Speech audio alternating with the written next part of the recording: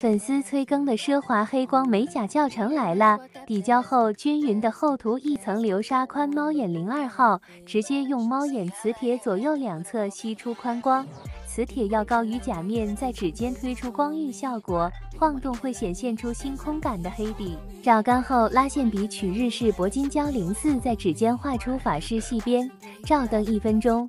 用这款四合一功能胶厚涂一层，找回甲面 C 弧度。